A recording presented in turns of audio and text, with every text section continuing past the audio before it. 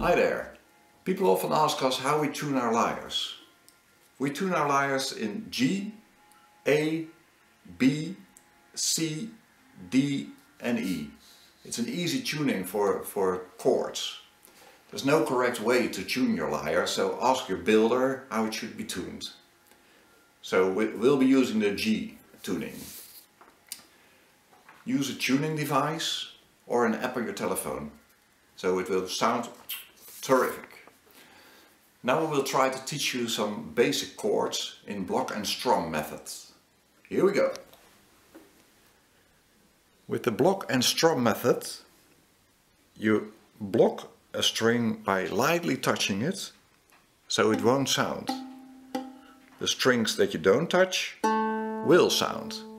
So if you make a combination of blocked strings, in this case the G, the B and the D, and you strum, you get a chord. We will start with a G chord. For the G chord we have an open G, a blocked A, an open B, a blocked C, an open D and a blocked E. If you strum you get the G chord.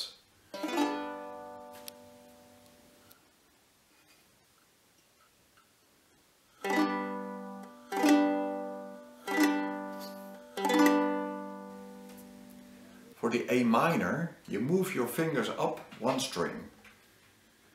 So you have an open A, an open C and an open E. When you strum it, it will sound like this.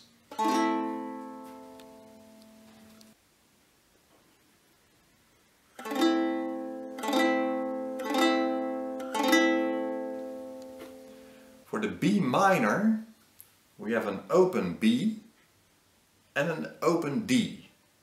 It will sound like this.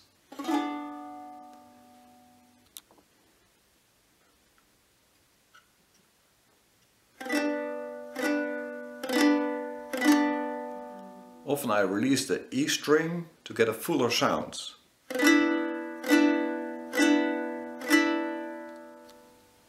Next chord is a C. We have an open G, an open C and an open E. And it might sound like this.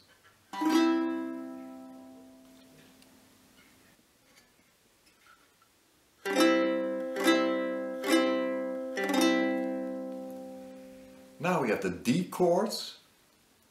We have an open A and an open D string.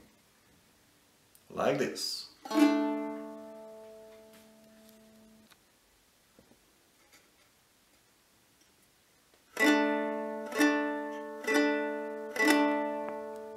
Here I also release the E string for fuller sounds.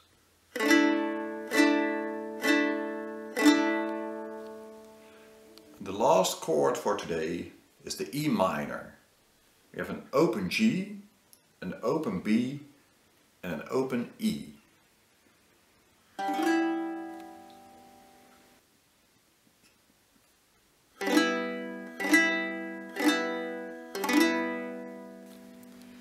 So these were your first six basic chords for the block and strum techniques. Memorize them, they're really important. We'll do them one more time, have fun with them and rehearse.